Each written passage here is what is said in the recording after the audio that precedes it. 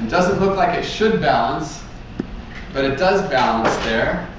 And the reason why is because there's this big huge weight on the other end, causing the center of mass to be right around here.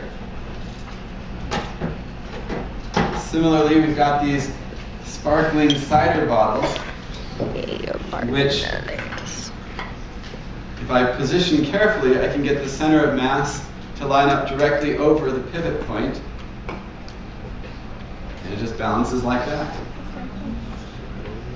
It's freaking awesome. This one's a little harder.